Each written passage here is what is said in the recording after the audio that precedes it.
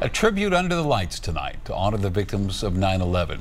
All the marching bands from Douglas County schools came together tonight and performed a medley of American themed music. And they also thanked first responders and veterans for their service.